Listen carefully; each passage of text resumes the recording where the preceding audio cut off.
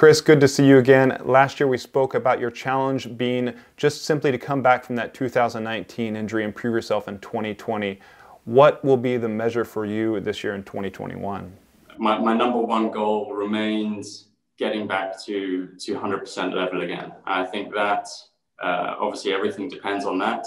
Um, last year I, I, thought I'd come a lot uh, closer to to where I needed to be than than I actually was, but it was only really once I got back into racing again that I I felt uh, exactly where I was and, and realized the weaknesses I still had and what I still needed to work on. So um, hopefully that's that's been a, a, great learning experience for me and something that um, uh, especially has, has, driven the decision for me to be out here in California, especially this year uh, during the winter and um, work on things to get myself uh, hopefully back to that top level again. And just how far off do you think you are given your power numbers at this point, what you're seeing on your computer? So, uh, pretty much uh, straight after the Vuelta España last year, I had a little bit more hardware uh, taken out of my leg. I had a couple screws removed um, from just above my kneecap.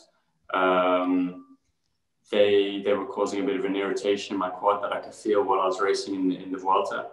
Um, so it's, it's good to have those out now. Um, and since then, I've been working pretty hard, uh, mainly on the quadriceps uh, in terms of the cycling specific muscles. The quadriceps are the, are the, the, biggest ones for me that were, were damaged, um, as well as a lot of the, the stabilizing muscles um, on, the, on the side of the leg, so around the uh, I guess the, the piriform, the glute med as well on the on the side of the leg. So I've, I've been focusing on, on those two areas in specific uh, in particular um, and, and feel as if I'm, I'm certainly um, making a lot of a lot of headway, um, a lot closer to where I need to be.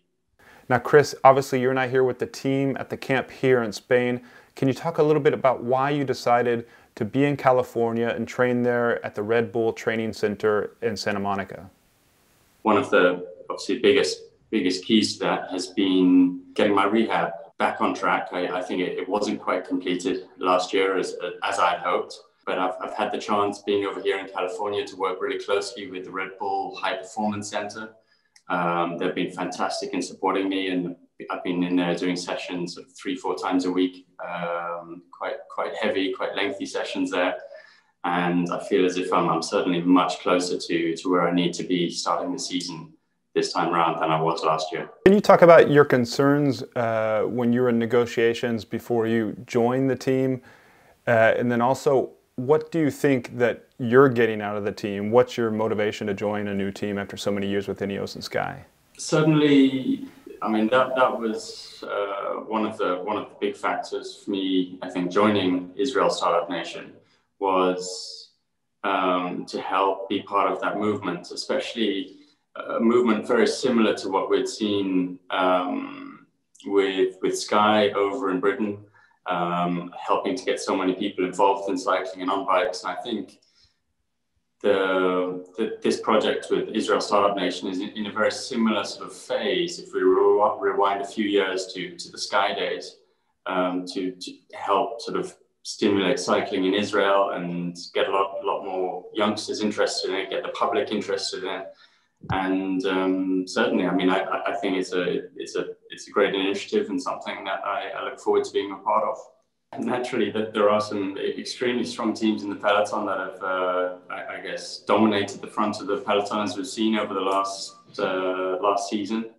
Um, Pogacar, uh, look, just looking at the Tour de France last year, um, his team wasn't riding like that, and he ended up winning the Tour de France um, which I mean, fantastic race by him. Um, but it, it, does it does show and it does give a lot of hope to the smaller teams seeing um, a scenario like that coming off. And at the end of the day, it comes down to the, the strength of the leaders, and um, that's that's where the race happens. Is it a challenge for you to show that you can win even without Team Sky, Team Ineos? Is that the big challenge for you this coming 2021 season and beyond? And especially I think one one really big motivation for me was knowing that I'm sitting on on four Tour de France titles, um, and I don't feel as if I'm done yet. Um, I, would like to get to to, to, to number five. Um, I'd like to keep racing Grand Tours, targeting them in, until uh, until I'm ready to to to to retire from the sport on my own terms. And I think, um, yeah, just the prospect of um, being basically being put out by a crash uh, that that didn't sit well with me. So as soon as I obviously found out that I was, I was able to make a full recovery and there was not nothing physically that should hold me back, then uh, that was that was a, a simple decision for me to make age is a state of mind. Um, yeah, um, I feel relatively young in cycling years. I only got into the sport uh, a little bit later, and um, I certainly, I think um, the way nutrition has evolved, the way sport has evolved over the years, I, I think it's certainly possible for athletes to go later and later. Um, and I mean, using just just looking at a rider like Valverde in his 40s already, still still racing Grand Tours, still up there, um, competing with the best in the world. So I mean, it's it's certainly possible, um, and uh, yeah, I'd, I'd, like to prove that as well. Finally, Chris, what does your race schedule look like starting off this year, 2021, and and also your first race here back in Europe? Um, I think, especially with all the sort of uncertainty at the moment about what races are actually going ahead and um, the restriction of movement in, in some places, um, that's that's a little bit up in the air at the moment, and I'm, I'm just waiting to waiting to actually bed something down properly. Um, we have we have a general idea, but I, would rather not share that until it's uh, until it's cemented um, and we know exactly what what what the season's going to look like. But it's it's definitely going to be a racing program that's that's built towards building up to the Tour de France as, as the main objective of the season.